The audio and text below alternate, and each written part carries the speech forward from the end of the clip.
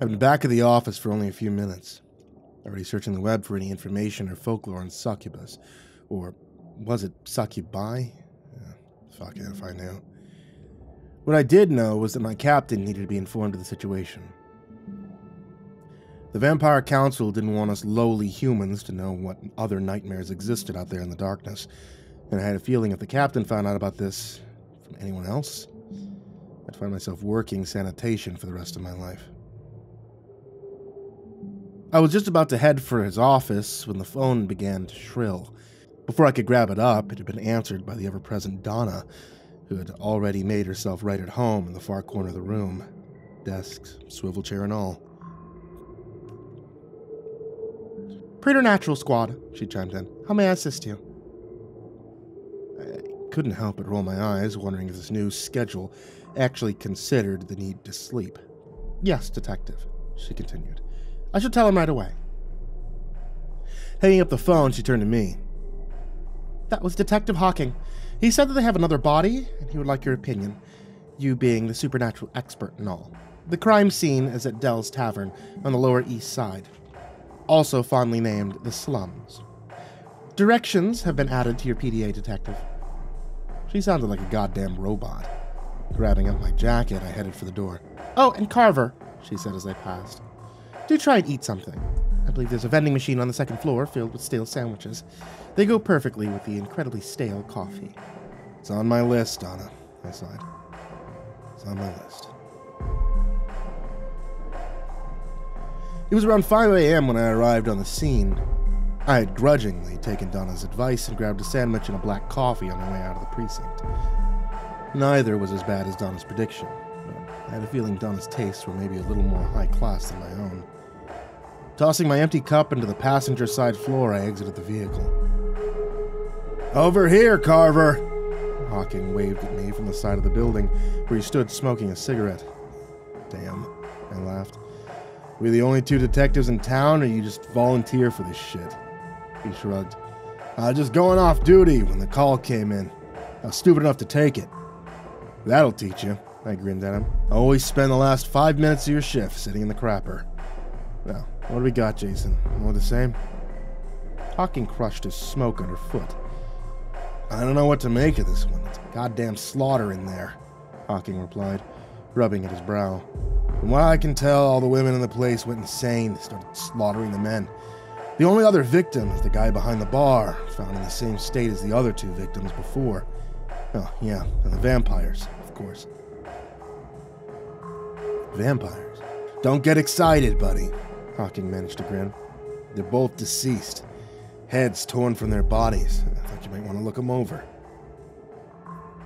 So you said the only other victim. What about the women? Alive, all of them. He found them covered in blood. Seemed to be in some sort of catatonic state. They've already been taken to the local hospital under close guard, of course, to be checked for injury and psychiatric evaluations. Everything else is just how we found it. Lab guys have done all their little tests and photographed the scene. Just waiting to clean up the mess. He said, nodding towards some bored looking orderlies. Stood leaning against a black meat wagon. Okay, I said. Either way. Dell's Tavern was a small, squat building with a long, shiny bar, a pool table, and one of those old rock and roll jukeboxes, you know, was just filled with such great hits as Jailhouse Rock and A Boy Named Sue. The air smelled of stale beer from long ago. Blood seemed to be everywhere, splashed across the walls, congealing on the ceiling, and soaking into the hardwood floor. There were bodies, all men. Some lying on the floor, others slumped over the bar, one even halfway under the pool table, a broken bottle jutting from his lower back, as if he had tried to escape the slaughter. I ignored him, stepped over a man with his face blown to pieces, and headed for the two headless corpses in the corner booth. Hawking followed close behind me. You may want these, he said, handing me a pair of white latex gloves, which I struggled with for a moment before reaching down and grabbing up a decapitated head. Just like that, Hawking grimaced. I ignored him and lifted the dead creature's pale lips, revealing the fangs beneath. The other one? I questioned. Under the table, Hawking replied. Hold this, you? I said, placing the severed hand in the big detective's hands. Hawking took a sharp intake of breath, but I noted the other man's hands were rocky still. Kneeling down, I grabbed the other head and did the same checks, before placing it gently back down and turning back to Hawking. You can put that down now. I grinned at the look of relief on the other man's face. Hawking looked around for a second, then placed the head on the table, and quickly stripped off his blood streaked gloves. Okay, I continued. The Two dead vamps, both new bloods. And look at the spinal damage. Now, hold on a minute, Hawking interrupted. How do you know they're new bloods? Teeth, I shrugged. They're not retracting.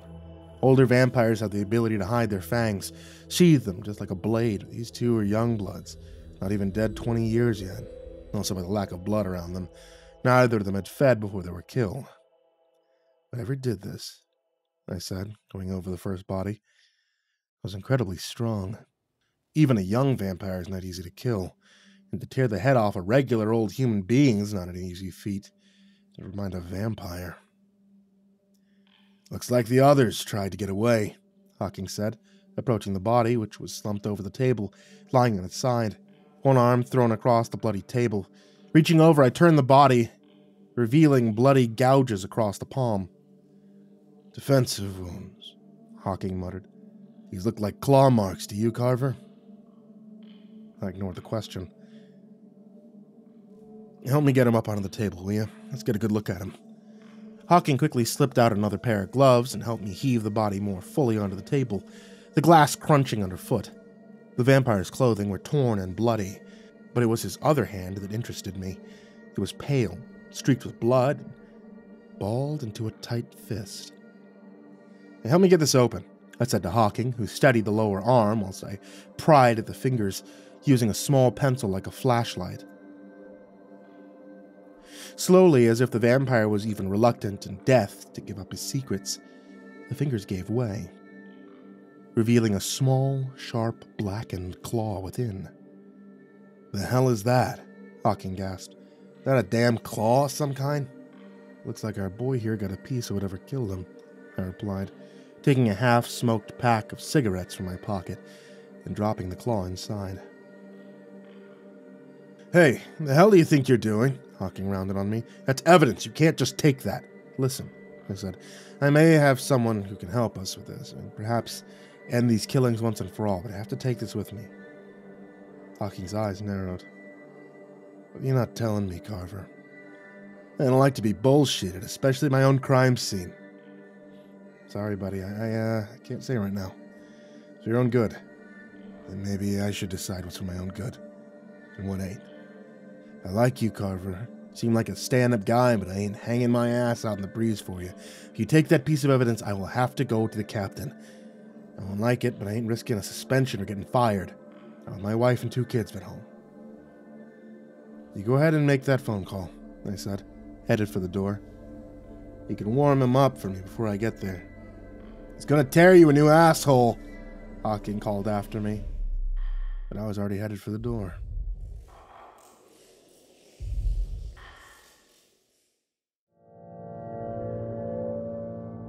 I had just walked through the office door when I was greeted by a worried looking dispatcher. Let me guess, I told him before he could even get started. The captain wants to see me ASAP. Uh, well, actually, he said. What he said was to tell that stone brained son of a bitch that I want him in my office the minute he steps through the door. Message received, I said, turning my back and heading for the elevator. I stepped out, noting the division seemed somewhat darker before realizing the automatic shutters had fallen into place with the rising sun. We wouldn't want any of our new vampire friends to catch a scorching now, would we? Heading for the captain's office, I knocked politely. Get your ass in here, Carver! Taking a deep breath, I stepped inside. The captain was sat behind his desk, a cup of steaming coffee in one hand, his tie askew. He looked tired, badly in need of a shave. You look tired, Captain, I said, taking a seat. Cut the shit, Carver, he snapped at me. I just got off the phone with Detective Hawking. He told me you took vital evidence from the crime scene, and normally I'd bust your ass for it. But it wasn't his crime scene, it was yours. Mine, I blurted, confused. You're in charge of the Preternatural Squad, aren't you, Carver? I shifted uncomfortably in my chair. Captain, I ain't sure what I am in charge of. I mean, we, we have our little chats. next thing I know, I have my own office, secretary and all. He winced at that. Don't let Donna hear you call her that. Sides, you complaining about having to work with Donna? Every single guy in this division's asked her out, at least one time or another. I don't work with vamps, I said, sullenly. I knew I was being an asshole. I mean, so far, Donna had been nothing but polite and I was painting everyone with the same brush, blah, blah, blah. But where the vamps were involved, I simply couldn't help it. Look, Carver, he sighed. This thing is as new to me as it is to you. A whole new division just dropped in our lap. Right now, I feel like a drowning man trying to save another drowning man. But that's not why I called you in here. I won't have you destroying another detective's reputation. You mean Hawking? I said, sitting up a little straighter. I thought you said it was my crime scene. I ain't talking about that. I'm talking about you using his connections in Vice to shut down Bella's place and squeeze her for information. Hmm. Told you about that, did he? I replied, trying to keep the disgust off of my face. He didn't tell me shit, the captain replied, slamming his coffee down on his desk. So wipe that goddamn self righteous look off your face. He is loyal to a fault and a damn fine detective. Then give him to me, I blurted out. God knows I could use him. The captain leaned back heavily in his chair, mulling it over. Okay, Carver. You can have him. I won't force him, and if he wants in, he's in. But you pull some shit again like you did at Bella's, and I will shut you down before you even get started. And fuck what little higher ups say. I headed I held up a supplicating hand. You got it, Captain. Glad to see we're getting on the same page. Now tell me, he said, leaning eagerly forward. Where are we on this case? What'd you take from that crime scene and why? I reached into my pocket and emptied the claw onto the desk. It sat there between us, surrounded by small tobacco flakes. Is that what I think it is? Azan said, prodding at it with one blunt finger. If you think it's some kind of claw, then you'd be right. Vampire? The captain questioned. I thought you were referring to them as Nosferatu here in Vamp City. I grinned. Only when they're around, Azan replied, a small smile playing across his rugged features. Just answer the damn question, smartass. No, Captain, I said, growing serious. It's not vampire. Not vampire. Then what? This belongs to a creature called a succubus. Succubus? He frowned. Like in those old Greek myths? Afraid so. And how can you be so sure? Azan asked, as I grabbed it up, stuffing it back in my pocket. Because I had a nice little chat with the master of the city, I said, rubbing at the already fading bruise down the side of my face. She do that to you? Captain asked, glaring at the side of my face. You want to press charges, Carver? It's assaulting a police officer in the line of duty right there. Would you really drag her in here, Cap? Goddamn right I would. I could tell he meant it, and I respect for the man shot up a peg or two right there. Brick lawyer would have her out the very next night, but I'd do it just for the hell of it. The embarrassment alone would have her raging for the next 200 years at least. I appreciate the support, Captain. I waved it away. But let's not go upsetting her. Well, at least not until we close this case. I shrugged. So we know what it is. How do we stop it? I know how to kill it, but I simply don't know how to find it. Neither does the master of the city. I have a way to find out. Do you by chance remember Nicholas Tivington at all? Sure, Azan replied. The renowned psychic who put away that mafia asshole. He was put into protective custody after some serious threats on his life, but he fled the program and went into hiding. But he has a brother, right? Dan Tivington? The captain turned to his computer and rattled off a few keys. Yeah. Dan Tivington resides in New York, status undead citizen of the United States. What do you think, Carver? I'm thinking that he may have stayed in touch with his brother. Hell, he could even be hiding him, for all we know. It's a damn shame New York doesn't come under our jurisdiction, Azan replied. But perhaps you have a few buddies over there on the force that could help us out. Yeah, I'm afraid not. Most of my old buddies were in the squads with me. They took the payoff and ran. As for anyone else, well, didn't really mingle with regular cops. And I guess we're pretty much screwed, although I can't stop a regular old citizen or an off duty cop from taking himself a nice little trip across the river, now can I?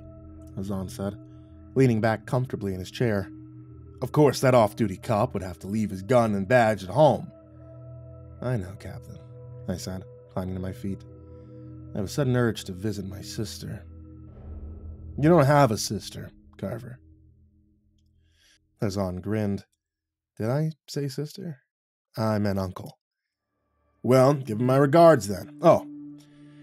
And John, you will remember to leave your gun and badge at home, won't you? I gave him a most reassuring smile. Sure thing, Captain. No worries. No worries at all.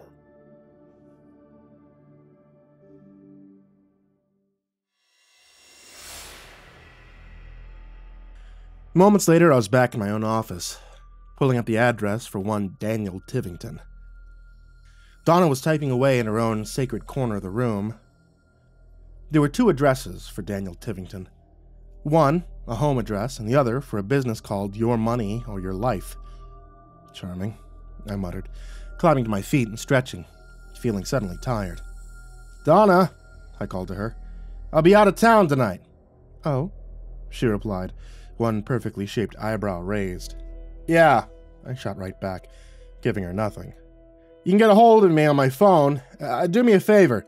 Get a hold of Jason Hawking. Ask him to meet me here tomorrow morning. I should be back by then. Anything else, Detective? Uh, yeah, actually, yeah. Um, you said you're in charge of administration, so uh, administrate. Get me a budget. This place could do with a lick of paint. Plus, we may need some other things to help us with the job, things not usually budgeted for under normal circumstances. Such as, she said, tapping her pencil against her perfectly bow shaped mouth. Garlic, wooden stakes, silver bullets, UV lamps. Shit, I mean, add on a portable flamethrower, I said, breezing past her. I never stopped to see the look on her face, but I'm betting it was priceless.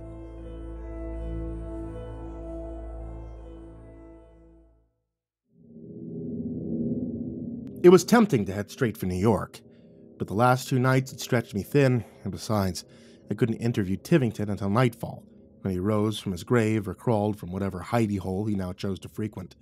So instead, I headed for my apartment, grabbed a quick bite to eat, crashed out. As soon as my head hit the pillow, I was fast asleep, only to be awoken what felt like seconds later by my blaring alarm clock, which now read 4 p.m. Kicking off the covers, I hit the showers, quickly dressed. I made sure to leave my gun and badge on the bedside table. A promise was a promise after all. Besides, I had a small arsenal stashed in the trunk of my car. I hadn't mentioned that particular fact to the captain, but then again, he hadn't asked. Grabbing up my car keys, I headed for the parking garage and the city beyond. Daniel Tivington's business address hadn't been hard to find.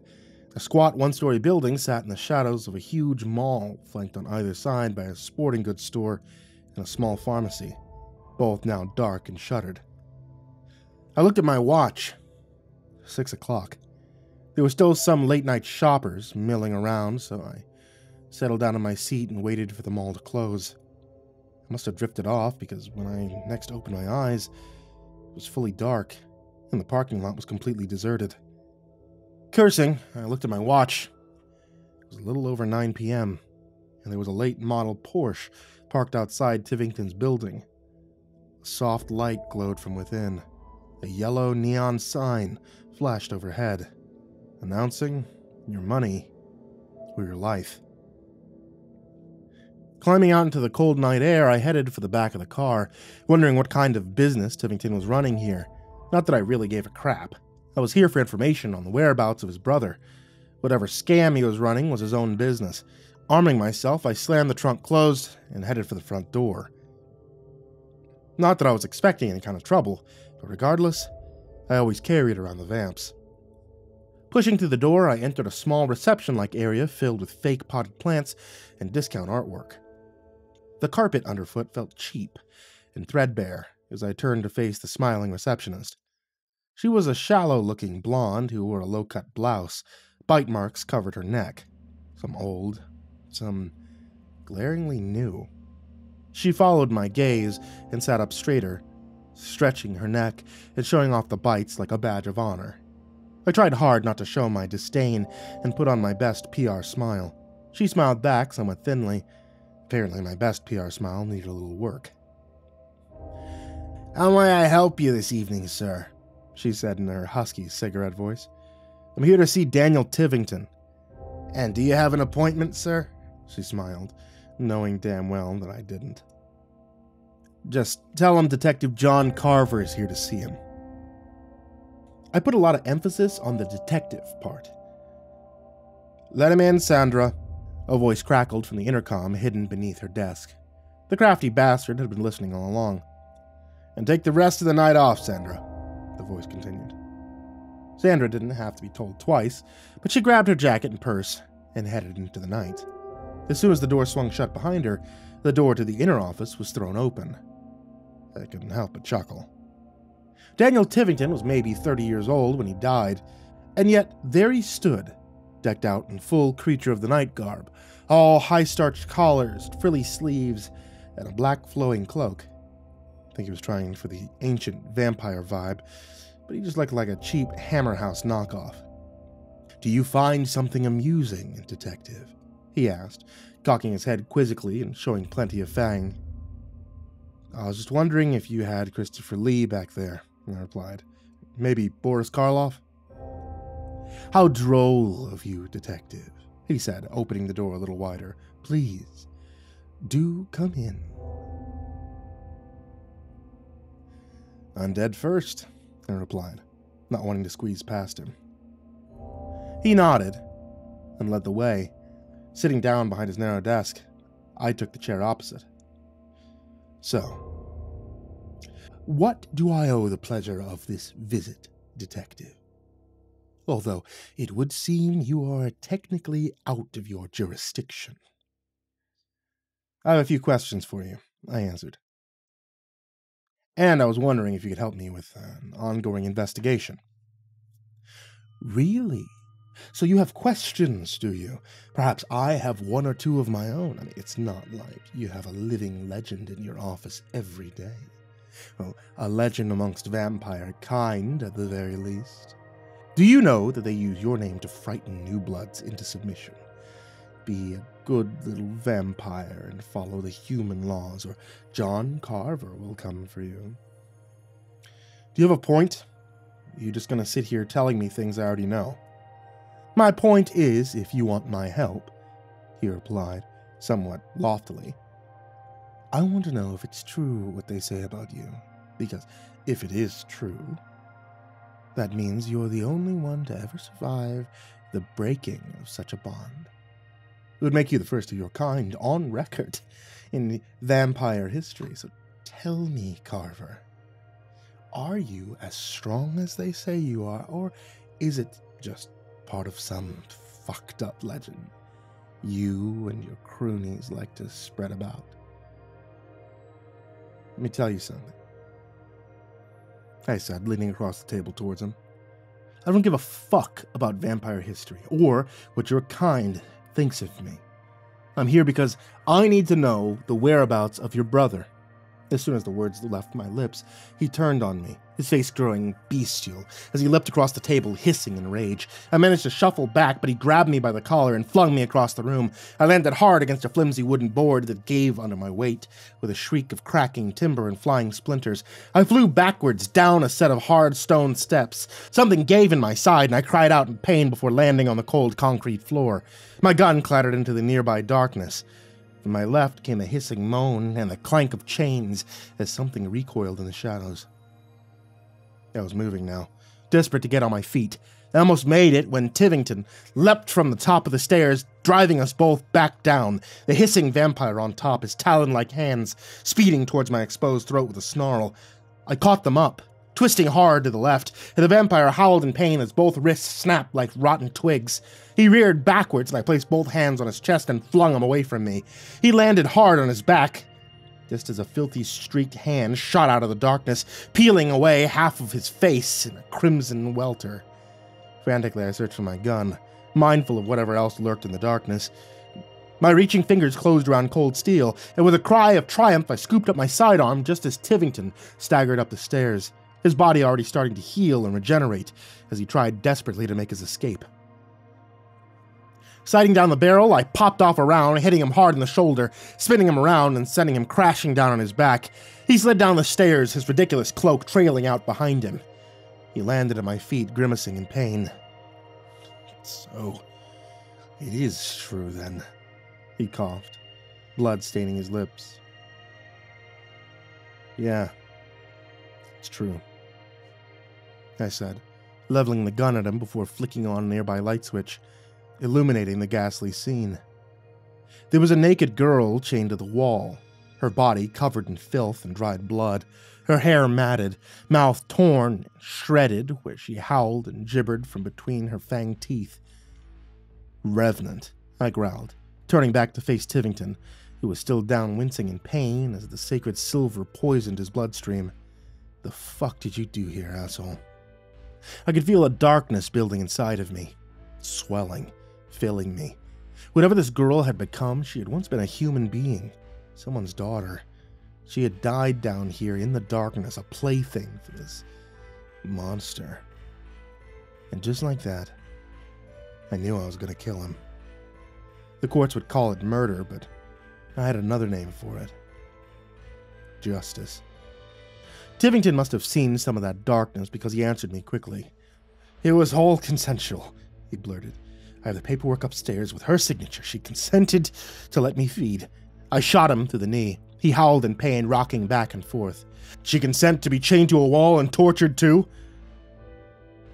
Jess was into BDSM. She was a real freak. Things just went a little too far, is all. I, I tried to save her, to make her one of us. I shot him again in the other kneecap. You're lying, you son of a bitch. You created a revenant, which means you broke her mind after she turned. Please, Please, no more, he begged. I took a deep, shuddering breath and lowered the gun. Okay, I'm going to ask you two questions. And I swear by the blood of Christ, if you lie to me just one more goddamn time, I'll put a round through your heart, and you ain't old enough to take that much silver. So here we go. Pop quiz. First question Why did you attack me? He answered quickly, without hesitation. The master of the city's put a huge bounty on your head. Not, not even dead or alive, just, just dead. Bartholomew? I asked, surprised. Bartholomew no longer runs New York. a new master had taken his place. He doesn't much like you, Carver. And who's this new master? What's his name? Janos. He replied. He has a reputation for being both brutal and ruthless. So, what's his beef with me? I asked, genuinely puzzled. I don't know, Carver. I swear I don't know. It was nothing personal. I just wanted the money, is all. I ignored that. Okay, second question. Where is your brother? He answered again, quickly. He's living amongst the Strigoi. Those simpletons think he's, he's some kind of a god. Uh, he's advisor to their leader. Great come all the way to the moldly old apple just to be told the man I was looking for had been right under my nose all along. Sighing, I lowered my gun and leaned heavily against the wall. Some of that cold anger was leaving me now, replaced by basic common sense. I couldn't kill Tivington, at least not today. Captain Anza already knew I had come to pay this asshole a visit, and then, there was the lovely Sandra, Tivington's secretary, who could identify me at the scene. The only thing was to make the best of a bad situation. Straightening up, I walked over to the feral vampire, who was still straining and tore at her shackles, cursed with an eternity of madness and a never ending hunger. At my approach, she lunged forward, pulling the chain around her neck taut as her twisting fingers reached for me. I knew she couldn't hear me or understand my words. I spoke to her anyway. I'm sorry this happened to you, I said softly. Nobody deserves what happened here. So I'm going to end your suffering. I wanted to say more, she deserved more, but I simply didn't have the words. Raising my gun, I shot her through the forehead, and twice more through the heart. Being so young, she never stood a chance. I didn't know if vampires went to heaven or hell, but anywhere was better than where she had just been. Turning, I strolled back to Tivington. Please, he begged. Please, Carver, don't kill me. I, I have money upstairs in the safe. You, you, you can have it all. And how'd you get that money? What kind of scam are you running here? No, no scam, he blurted. A simple trade. People come to us, they give us money, all of their money, every red cent, and in return, we give them immortality. I mean, after all, they have an eternity to reamass their fortunes. The name of the business. The name of the business finally made sense. Your money, or your life. You're nothing but a parasite, Tivington. And you deserve to die, but I can't afford the heat your death will bring me right now, so I'm gonna let you live on two conditions. You hearing me, asshole? I said, grinding one boot on his shattered kneecap. Yes! He screamed. Jesus, Carver, I'm listening! Jesus don't want you for no sunbeam, vampire, but it's good to know that I have your attention. Okay, so here goes. Number one, you're gonna get rid of that poor girl's body for me, and two, you're gonna shut up shop and leave town. If I hear that you've spoken to this new master or tried to contact your brother, I will track you down and I will bleed you slow. Do you understand me? Yes, I understand. Oh, and in a way of parting gifts, I said, aiming my gun at his pit stained crotch. No, Carve, Carver, wait! I fired twice, and I left him on the stairs bleeding, before heading up the stairs and leaving the building shutting the door firmly behind me.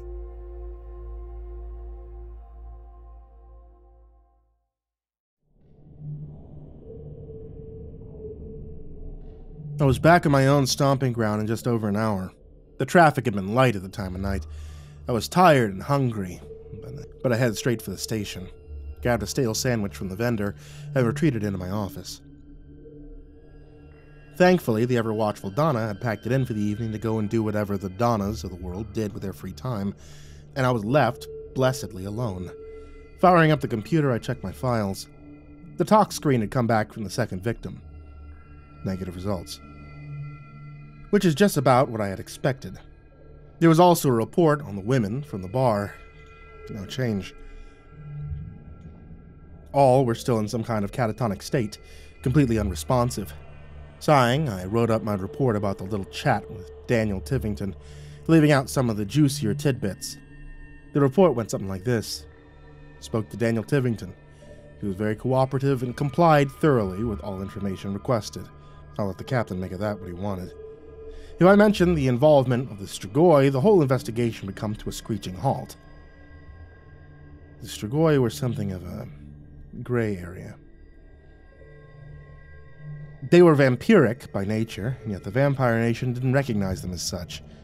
I guess when you look like the monster that you are, it isn't very good for vampire PR. Still, the Strigoi were pushing hard for citizenship. Right now, they were living outside of the city by the Vampiric Council's request. The whole thing was a clusterfuck of gray areas. Turning back to the computer, I hit up the government information website and looked up the Strigoi. The website was public. After all, it was always best to know whatever it was looking around your local neighborhood and all, and if you could still legally put it down. Where the Strigoi was concerned, you could, but only in self defense. The shoot on sight policy had been removed, which meant that they were slowly gaining ground when it came to having the same rights as their vampire cousins. With all the bleeding heart liberals in Congress these days, I was betting that they'd be warm and cozy under the blanket protection of the new Benson and Hodges law by the end of the year. Scrolling a little further, I came upon the heading Description, Folklore, and History, color photographs and all. The Strigoi were the exact opposite of their vampire counterparts. Where most vampires looked human, the Strigoi most certainly did not. With their sunken noses, slate gray skin, and large pointed ears that looked like a mixture of Nosferatu from the old black and white movie and some kind of fucked up rabid elf. In essence, they looked every inch the monster they truly were. Even if I could understand a degree why the vamps didn't want these monstrosities lurking around the city.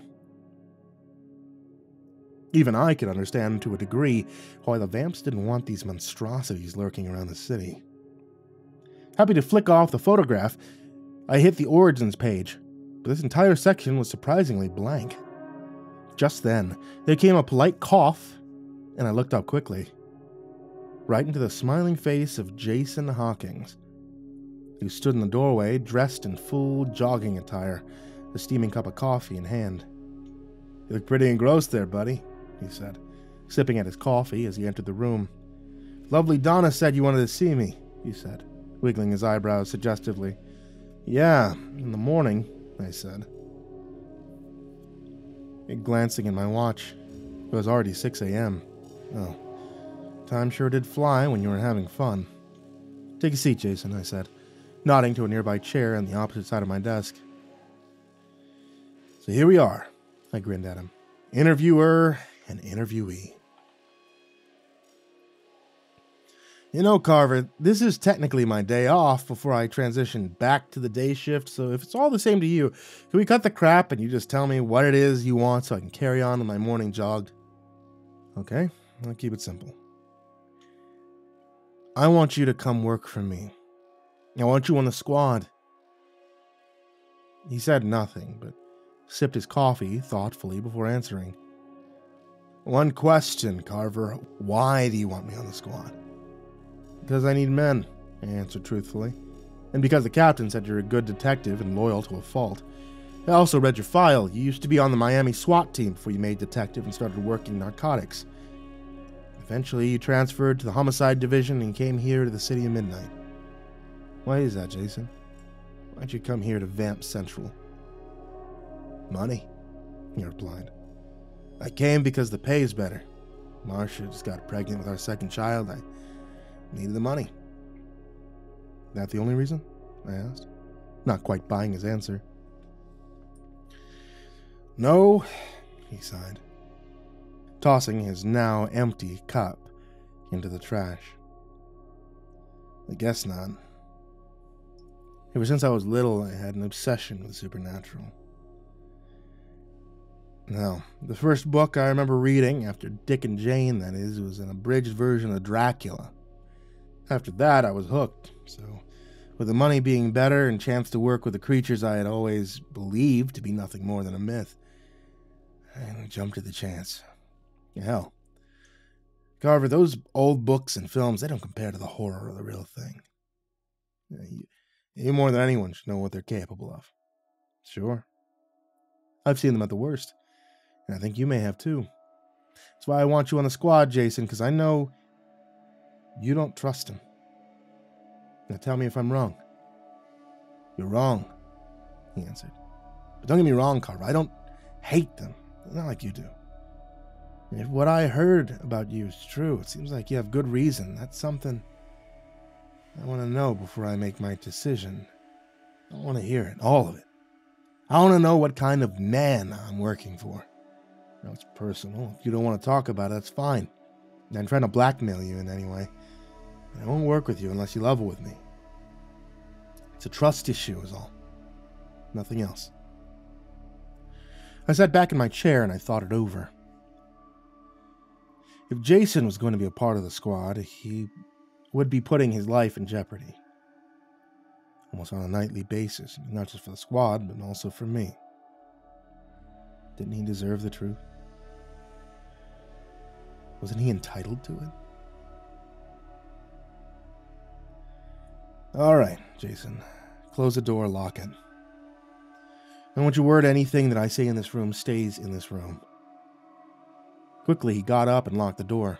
Give you my word, Carver, he said, sitting back down. Anything you say is strictly between you and me, whether I decide to take that job or not. All right. I said, getting more comfortable for the telling of it. This is how it all began.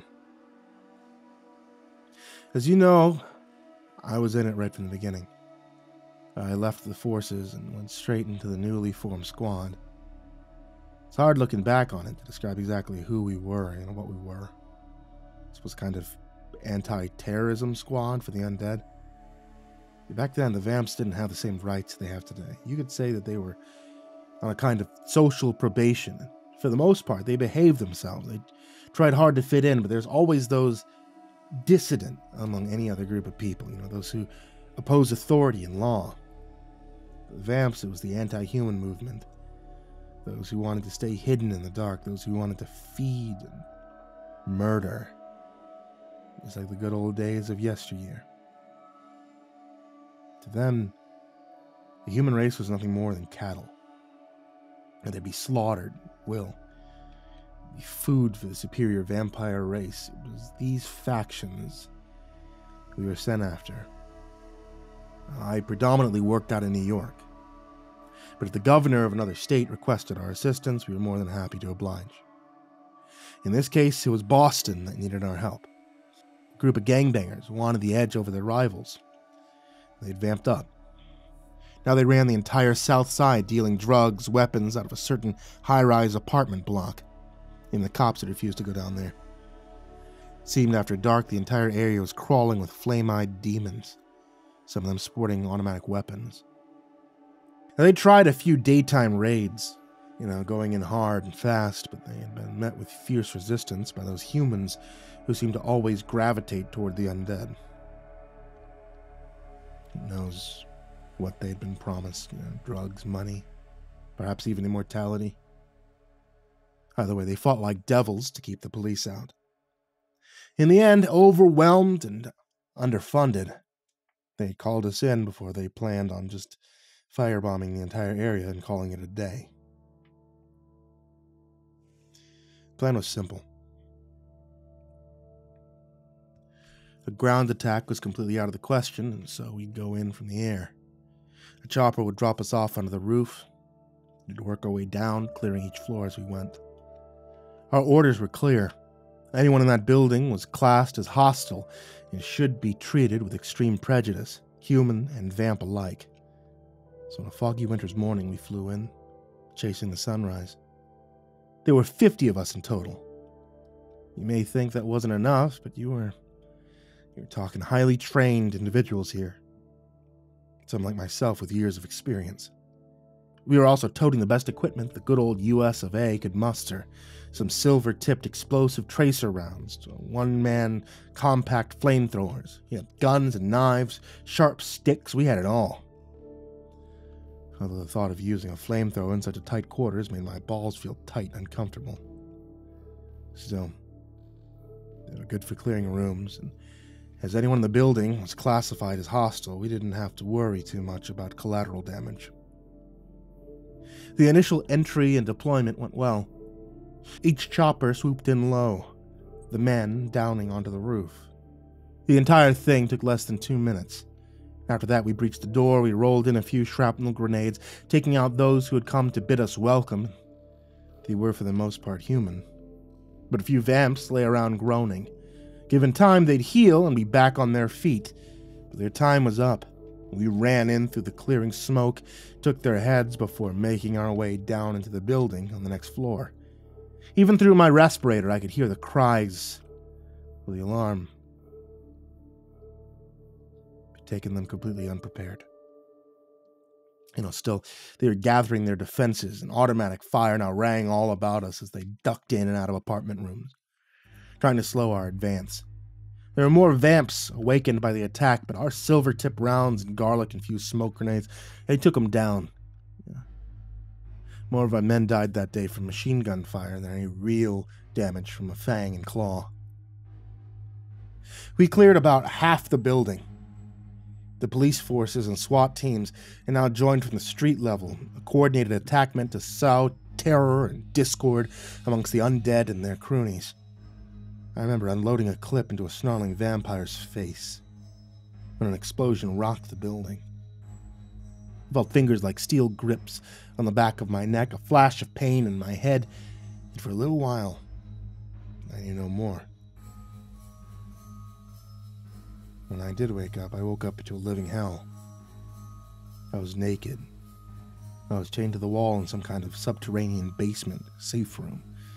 Sat across from me was a vampire in an ornate leather chair that stood out in stark contrast to the bare concrete walls. He grinned a ghoulish grin at me as I opened my eyes. Detective Carver, so glad to see that little knock on the head I gave you didn't do any real damage. After a thousand years, one has a tendency to forget one's strength. I tried to reply, but my head was throbbing. The room was spinning. Suddenly, my stomach violently spasmed. I leaned over and I threw up. The pain in my head roared. The vampire chuckled. Think I may have a little concussion, detective. I think you may have a little concussion, detective, but don't worry. It won't be troubling you for very much longer.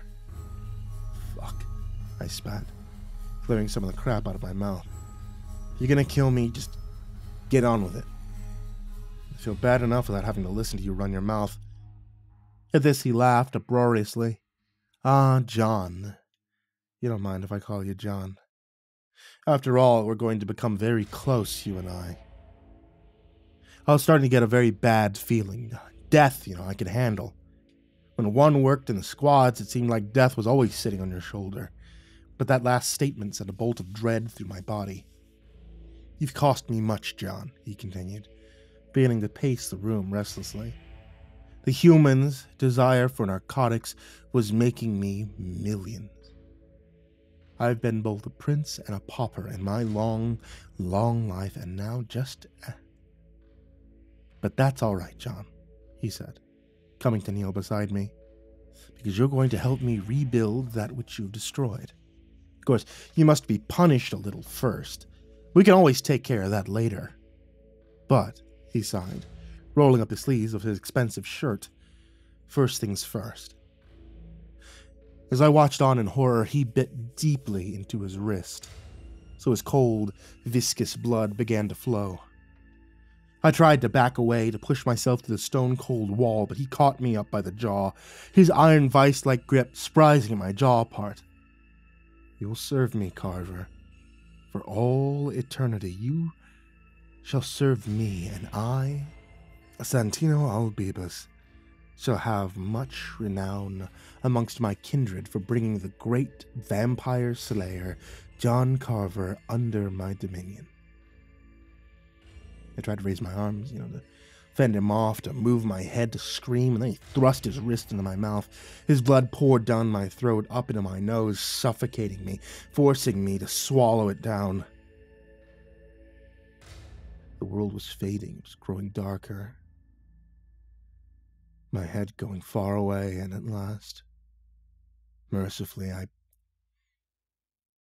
I passed out. I awoke the next night unchained in my own apartment floor. The first thing I saw was my dead wife.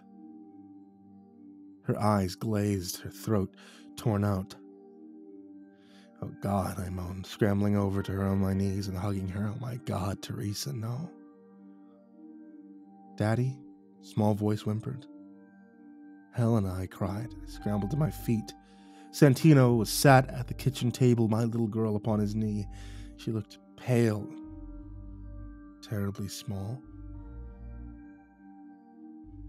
She was only eight at the time. Let her go, you son of a bitch, I growled, pacing towards him, my hands like claws, ready to tear him apart. Stop, he suddenly commanded, and just like that, I was unable to move. No matter how much I tried, I couldn't make my body obey. It was as if I was literally frozen to the spot. I will kill you. Slowly for this. I hissed at him. If you so much as harm a hair on her head, I will make you scream for death. Silence, he commanded again, and it was as if my very throat closed upon itself. You will do nothing. You are mine, Carver, my human servant, forevermore. Didn't I tell you? Didn't I warn you there would be consequences for your actions? Don't worry, he said. stroking Helena's fine blonde hair. You'll forget them over the long centuries and learn to love me. But for now, and that said, he tore her head to one side and struck hard, fastening onto her. She never screamed. She never made a sound. She just looked at me, hopelessly. One arm reaching for me, tears streaming down her face. Daddy, she whispered. One final time. Before the light faded from her eyes and Santino cast her away from him like some broken rag doll. Well, he sighed, taking a pocket watch from his waistcoat. I'm afraid you slept long and deep, John, and so it seems we shall be spending the day here at your abode. I shall take the master bedroom, he said, wiping away my family's blood from his face with a silken handkerchief. And you shall sit here amongst the ruin of your own making and reflect. Tomorrow night we shall move on and talk about this unpleasantness no more, as master and servant for now. Sit and do not move. And that said, he strolled into the bedroom and I had once. And that said, he strode into the bedroom I had once shared with my wife and gently closed the door behind him.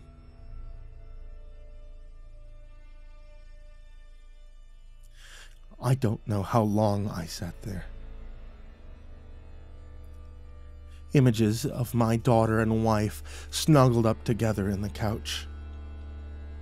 Helena's first steps, the first time she'd smiled up at me, learning to braid her fine silken hair, sleeping beside her in her tiny bed when the nightmares had come. The smell of her, the joy at her birth. My only child. my beloved daughter now a bloody heap, fed upon and discarded like trash. Anger.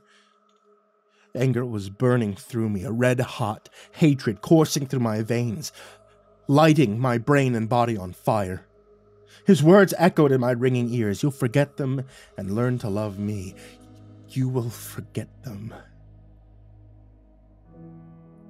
And I started to strain the sweat running down my face. Still, I couldn't move. I sat like that for hours. You love me.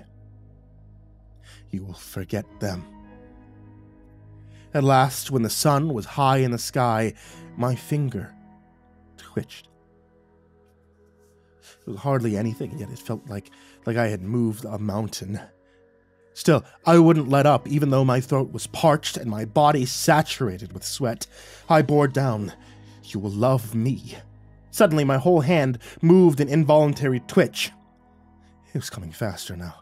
My body coming slowly back to life, driven by my love and my loss, but most of all, my burning hatred and my need for vengeance. And suddenly, just like that, I was free at least for now. But another command from my so called master would freeze me back in place, and if that happened, I knew I'd never be free of him again. So slowly on my hands and knees, I crawled over to my daughter and I scooped her up. It was. There were no tears left, just a aching sadness and rage. Placing her with her mother, I slowly Mindful of the creaks on the wooden floor, I made my way to my office. Small box room I converted some years back to do my busy work. It contained nothing more than a swivel chair and a large oak desk. It's from the drawers of this desk that I took a 9 millimeter loaded with blessed silver. I took some holy water, small bottle of holy water, and I made my way to the bedroom. I didn't hesitate, but I kicked open the door. Santino awoke immediately and sat up in bed, opening his mouth possibly to give another command, but snarling, I emptied an entire clip into the lower half of his face, blowing his jaw apart and shearing his spine. When the gun was emptied, I cast it away and I leapt on top of him, half paralyzed and mad with pain. He managed to swipe at me, but I ducked under his flailing arms and upended the holy water straight into his crimson eyes, blinding him forever. He shrieked in agony from what was left of his ruined mouth, but I wasn't done with him yet. Quickly, I found my gun, I shoved in another clip, and I shot him. I shot him through the heart a dozen. A sudden pain also lanced through my own chest, and I realized it was the newly formed connection finally working against me, and still, still, I ignored it. I ignored the pain. Running on adrenaline and fury, I grabbed his legs and I dragged him into the kitchen, and there I threw open the curtains and let the cleaning rays of the sun go about their grisly work. He began to thrash, his body beginning to steam, his flesh splitting open, his blood catching fire. I was now also burning. There was no smoke or fire, but I could feel the terrible pain causing me to scream and wither beside him, knowing he meant to take me down into death with him, but inside, Inside, I was laughing. Even through the insane pain, I laughed, and I relished his death as his body began to fall apart and my breathing suddenly stopped. As did my heart. And I joined him in death. Or so I supposed. Six months later, I awoke in a clean hospital bed. Apparently, a neighbor heard the gunfire and called the police who had broken into the apartment, seeing the burning vampire and myself lying still beside him. They had started CPR until the EMTs had arrived to get my heart started again. From there, I was evac to the closest medical facility where I stayed in a coma for six months. When I awoke, the doctors called it a medical miracle that I hadn't suffered any kind of brain damage. I knew it was no miracle. It was the evil that now lived inside of me. My master was dead, but his blood still corrupted me, and I'd never be a normal man again. I spent only a few days in the hospital. My body healed itself at a frightful pace, and I was now faster and stronger than ever, but damned. I've been damned ever since. And that's why I hate them. They killed my family. I believe they've condemned my soul to eternal damnation. Jesus Christ. Jesus, Carver. Hawking said, licking his lips nervously. I heard some rumors about you, but I didn't know about your family, your little girl.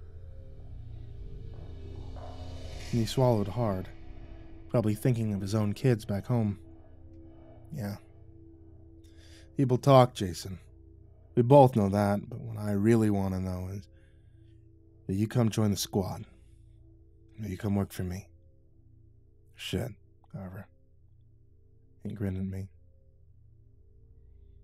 I guess I'm in.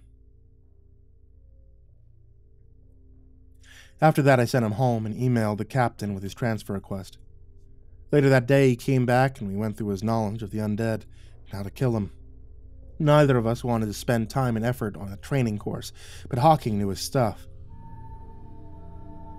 I'd even had some basic training with the Miami SWAT. We also went down to the range where he showed me he was most proficient with all manner of firearms. By the time he got back to the office, I'd already filled him in on a current case. You know, Jason said as we entered the building, if you want to know more about the Strigoi, why don't you just ask our resident vampire? I turned to him. What? Who do you mean? Donna, he replied. You know, the two century old stunning redhead that just happens to work in your office with you? Our office. I corrected. Not yet, buddy, he laughed. Not till the captain signs off on those transfer papers. Well, I'll get right on that, I called after him. He waved at me over his shoulder and went back to his case files, leaving me alone. Okay, I sighed. Let's go talk to Donna.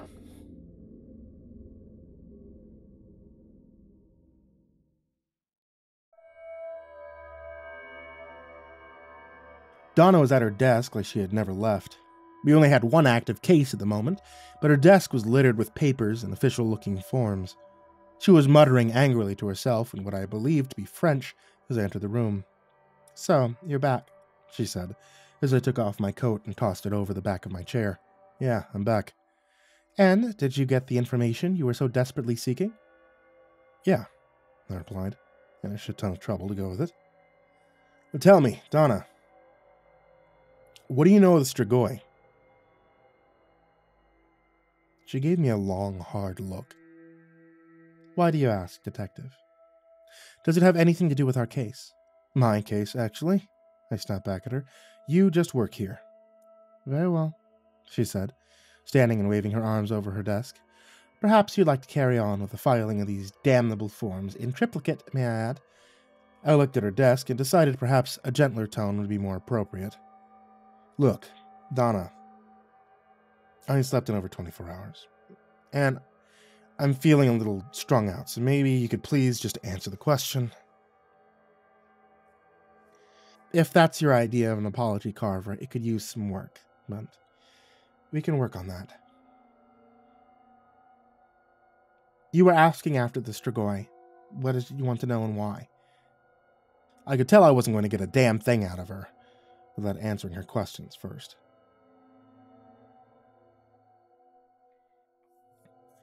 Fine. I gave up. Yes, it has something to do with this case. The guy I need to talk to, Nicholas Tivington. He's he's living among the Strigoi. I need his help with something, and and I'd like to know everything about what could most likely be a potential enemy. She thought about that for a moment. If the Strigoi have Tivington, they won't give him up without a fight. They're dumb creatures, easily impressed. They would see a powerful psychic like Tivington as someone of great importance, probably a kind of mascot or trophy to use as a display of power. But why ask me about them? And surely you know just as much about them as I do. Well, let's find out. Why don't you tell me what you know, and we can compare notes? Very well, she sighed. I've only ever met one of the Strigoi, and only briefly. It was around the turn of the 19th century. I was in Poland at the time, deep in the forest. I believe I was chasing a peasant girl. She stopped to look at my face. Those were less enlightened times, detective, and a girl must eat. Anyway, she continued, I had tracked the girl down and was going in for the kill when one of the Strigoi attacked me throwing me to the ground. Not that it really intended me any harm. It was the girl it was after, and believe me, detective, the girl would have not suffered in my embrace. However, the Strigoi like to take their time with their victims. They just don't feed on blood, but also pain, fear. So, it's more than just blood. They need fear and pain to survive, or they just sadistic assholes. No, detective, she answered, straightening her skirt. It's more than a desire, it's a necessity. I believe fear, maybe even adrenaline in the blood, is somehow a part of their dietary requirements. Like I said, they are unsophisticated creatures, unlike yourself, I growled, unable to help myself. The way she had so casually talked about hunting a victim through the woods made me sick of the sight of her, but I needed to keep myself in check if I wanted more information. But I knew one thing her days as a working member of this new squad were numbered. I don't hunt for sport, she shot back, her eyes flashing, nor have I ever tried to terrorize my victims. I only ever hunted to survive.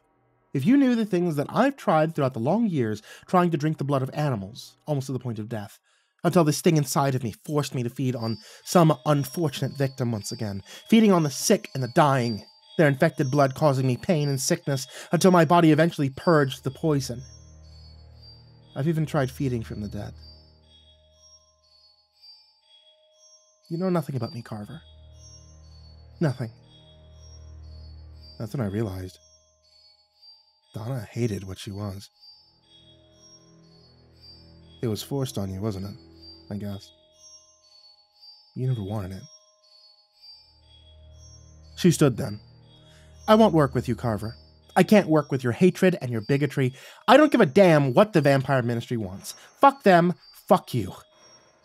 She was heading for the door now, and I came around my desk and reached for her, trying to take her gently by the arm, but she turned on me, fangs flashing, and I let her go. Last thing I needed was a highly pissed off vampire rampaging through the precinct house. Great work, John, I muttered, grabbing at my jacket and chasing after her. I caught up with her on the street, but didn't try to touch her or get too close. Look, Donna, Donna, I'm sorry, I blurted. I didn't know. I mean, who could have known? She turned on me then.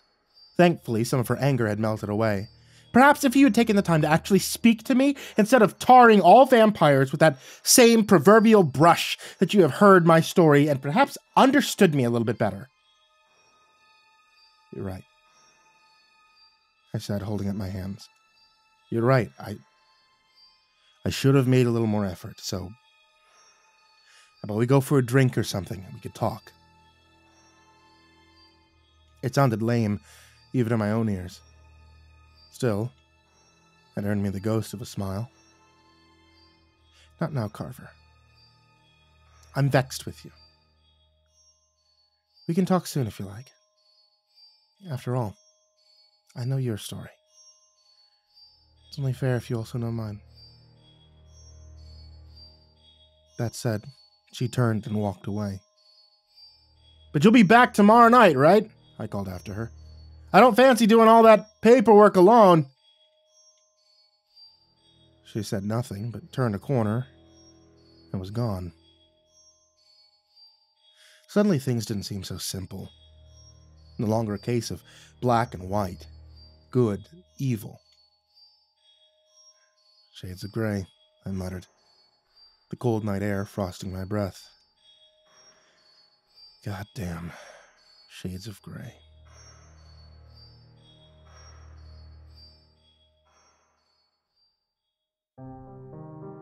I just want to point you guys in the direction of the snake's paw.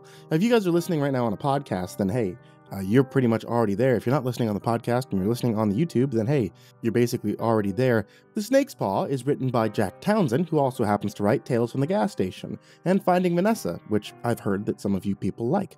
If you want to find some more of his amazing writing, as well as a full cast of voices that is brought to life within this amazing podcast that's hilarious and frightening at the same time, then I strongly, strongly suggest you check it out. That's The Snake's Paw. And you can also uh, go to thesnakespaw.com. A big thank you to Jordan Alexander Sanchez, Jakob Fenske, Stephanie Butler, Jordan Humble, Chance Burnett, Diana Kraus, Brimstone Pandemonium, Cal Tuna, William Wellington, Emma, Brenna Crow, Lakeda Canizales, Smiley the Psychotic, Dante Kincaid, Simba's Bloody Mojo, Mephistopheles, Curse Pox Primarch, Bastion Beefcake, M, Jesus Corneo, Yargul, Clownable, Amber Clark, Jay Kierns, Dakota Lane Whetstone, Himbo Jerry, Crusader Chocobo, Adamarius, Estebean, Nit Cull, Our Minsect Time, Xylobones, Angelus, Seclude, Salty Surprise, Levita Galvin, That Creepy Chick, Red Shadow Cat, Turtleman, Carolinian, Mr. Marcus Blitz, Ika Limchok, Dirty Diver 030, Matt Bach, Voice of Sand, Fikamel, Melted Lake, Tali Sue, William King, Darth Miver, Sashi Suzaku, Coconut 509, Stricket, Freddy Krueger, Lisa Cottrell, Hades Nephew, Acid System, Mog, Kiri the Sloth, Fester's Lampshade, Nico Kyle, The Ginger Bros, Aaron Stormcrow, Daniel Polson, and Corey Kenshin. To all of you guys, I cannot thank you enough. Thank you for being a huge support to me. Thank you to everybody who's in the description down below, and thank you to everyone who can even support $1 just on Patreon to help keep the content coming.